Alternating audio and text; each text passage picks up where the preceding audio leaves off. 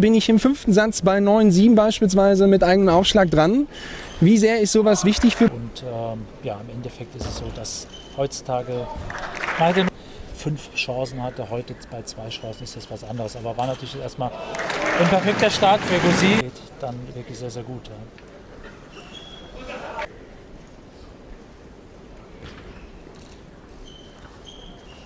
beobachten.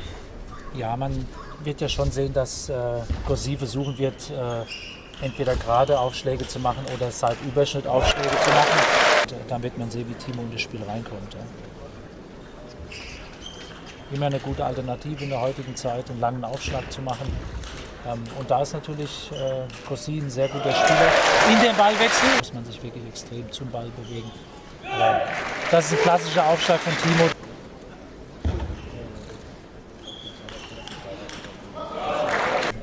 Top-Athlet und äh, ja, zeigt das immer wieder.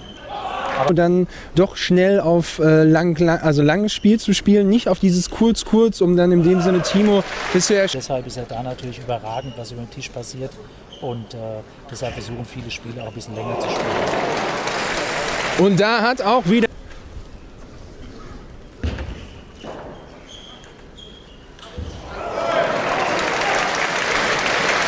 bei so einem Spielstand sechs Breiter viel zu hohes Risiko gewesen. Von Jörg Rosskopf.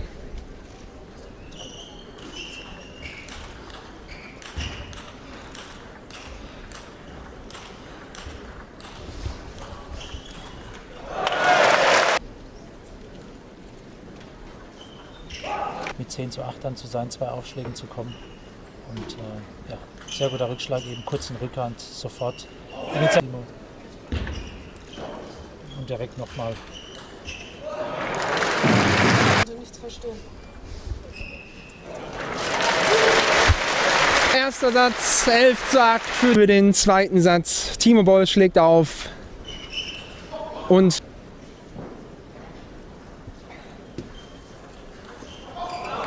natürlich immer auch mit der Perspektive, dass Boll das vielleicht gar nicht zulässt. Aber das wäre. Sie hat äh, zwei, drei Bälle dann liegen lassen, aber hatte seine Chance gehabt und wieso dann taktisch was zu verändern. Er hat ein gutes Spiel gegen Timo und er wird weiterhin äh, mit offensiven Schlägen agieren wollen, weiter mit den Aufschlägen, die er nach vorne spielen will. Mega weit. Ja! Sehr viel Glück bei Rossi. Auch natürlich das, was die Zuschauer sehen wollen. Ballonabwehr, Timo schupft und dann, okay, kommt natürlich ein Timo schießt und dann natürlich ein Topspin hinten auf die Kante. Bisschen Glück, aber natürlich auch verdient. Ja. Und Vita startet Go Z perfekt. Erster Satz 3-0 Führung gehabt, zweiter Satz 4-0 Führung. Und da sieht man es direkt. Diese ist auch, ist zwar ein 6 zu 0 Vorsprung, aber er muss wirklich noch konzentriert bleiben und alles versuchen. Und äh, Timo wird sein bestes Spiel im äh, Satz bis 11 natürlich dann oft provozieren. Der Druck bleibt hoch.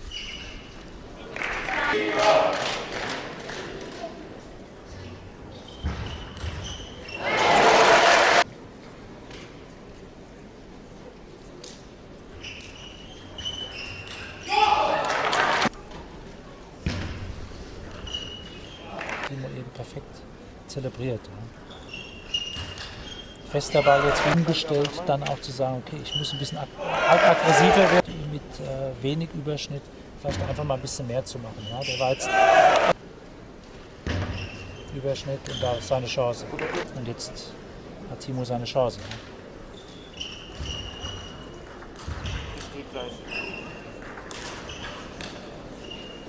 Da wird er ihn in der Rückhand festnageln jetzt. Wünschten Effekt und Timo jetzt.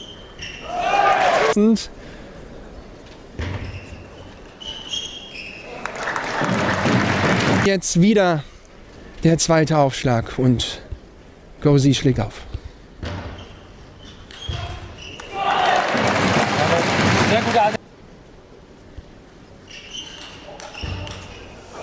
Die Rotation.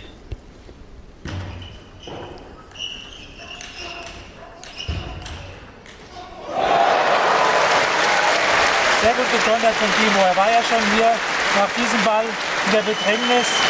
Und diese Rückhand jetzt war sehr, stark gewesen, noch gut platziert, direkt rumgegangen, mit Vorhand dann in den Körper gespielt.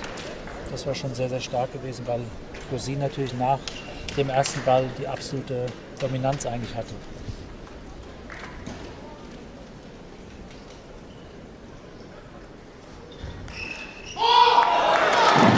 Zum allerersten Mal der Aufschrei. Genau. Es ist so wichtig.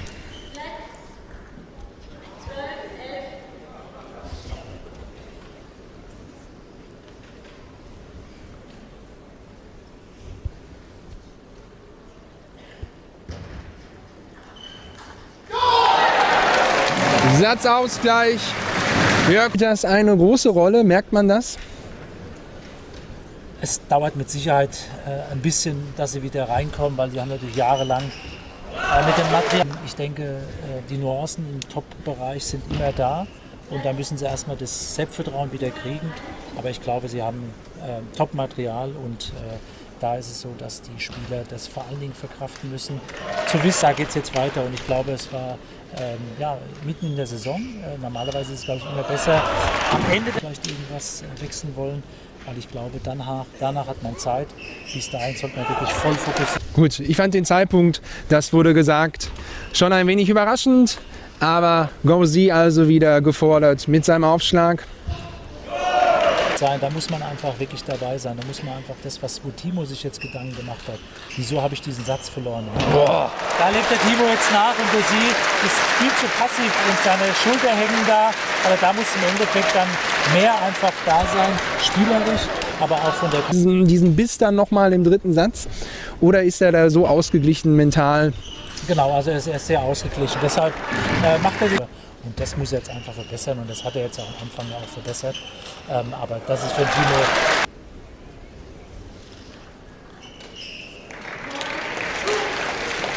Wenn er die Qualität hält von seinen Aufschlägen, kurze Aufschläge zu machen, ähm, variiert ein bisschen, ähm, dann ist es, glaube ich, wirklich eine Qualität ist von Timo. Ähm, da unglaublich viele Rotations äh, da rein machen, dass er jetzt 9-4 führt, hat eine große Führung, sondern es geht einfach nächster Ballwechsel. 9-5.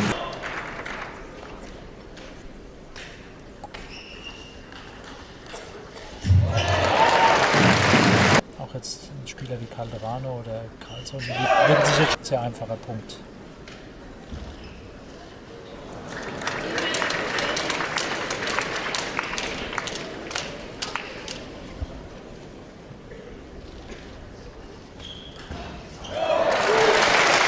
Wir vermelden das 2 zu 1 für Timo Boll.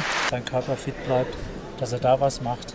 Ob er die eine oder andere Trainingseinheit mehr hat, wichtiger wie jetzt für Dimitri Ovtcharov vielleicht noch eine zweite oder dritte Einheit am Tag zu machen.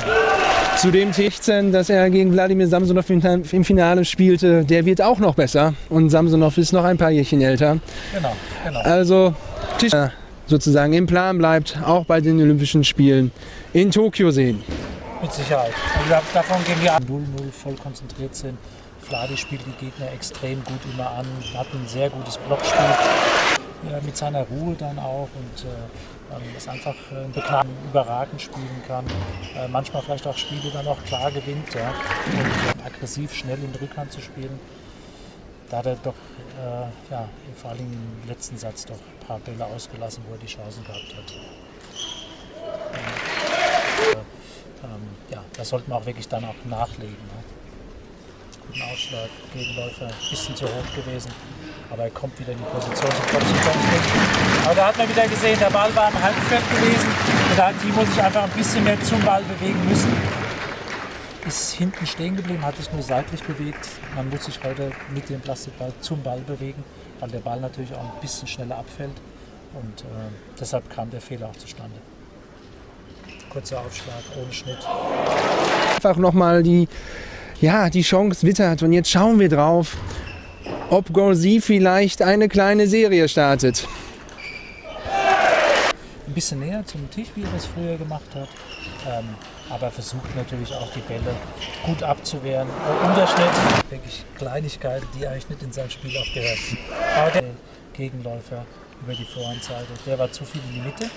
Der muss mehr nach außen, mehr das Beste direkt präsentieren. Jetzt hat er seine Matchbälle, der Timo, und wird auch da bei den Matchbällen dann sein Bestes präsentieren. Entweder den geraden Parallel oder den Gegenläufer. Der Gegenläufer. Ja, Jörg, du kennst Timo Woll und erschreckend.